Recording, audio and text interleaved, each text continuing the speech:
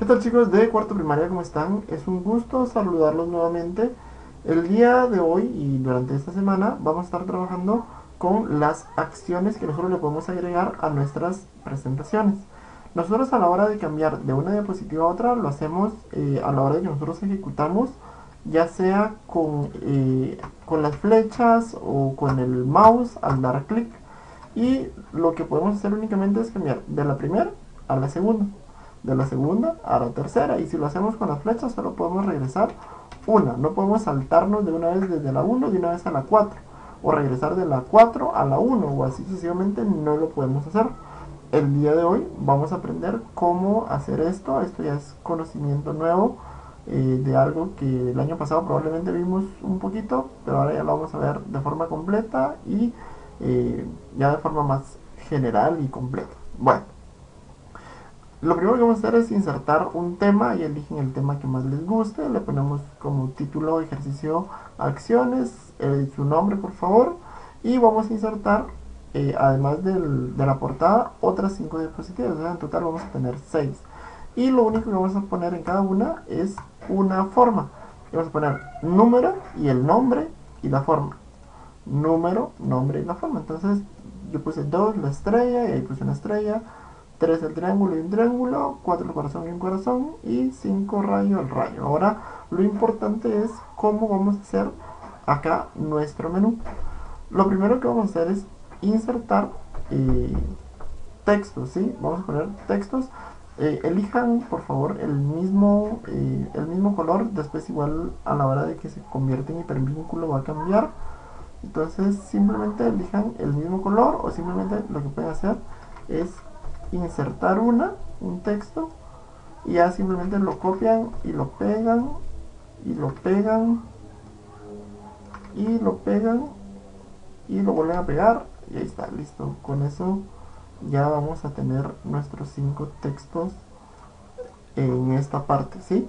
Y al primero obviamente le ponemos el nombre del primer, yo acá tengo de la primera forma, y acá tengo círculo, entonces voy a poner círculo a esta le voy a poner estrella. A esta le voy a poner triángulo. A este le voy a poner corazón. Y allá abajo no se mira pero lo que mi última forma es un rayo vean ahí ahora sí lo van a ver. Es un rayo. Bueno. Lo vamos a organizar otra vez para que se mire bonito al final me quedó el mismo color del, título. Si ustedes quieren le pueden poner otro color para que se vaya viendo más bonito. Pero por el momento acá está bien. Bueno, ahora el objetivo del ejercicio del día de hoy es de que al presionar acá en círculo, o sea cuando ya estoy ejecutado, ahorita que ya tengo ejecutado, presiono acá donde dice círculo, se vaya para el círculo. Pero si yo presiono corazón, vaya hacia el corazón. ¿Cómo vamos a hacer eso? Vamos a seleccionar nuestro texto desde aquí, desde la orillita. Aquí esto no debería estar parpadeando, vean.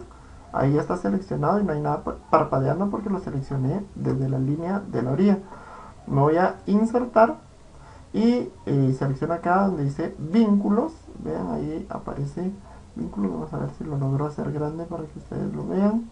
Ahí aparece vínculos y aparece hipervínculo y acción. Nosotros vamos a seleccionar acción y acá nos dice clic del mouse. Vean que hay dos. Ahora vamos a utilizar el que dice clic del mouse.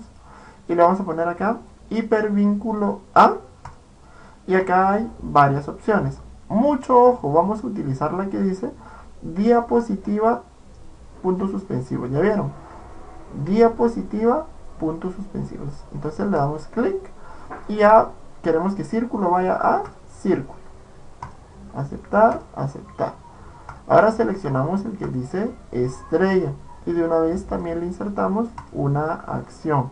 Con hipervínculo a diapositiva tres puntos, elijo el que dice estrella.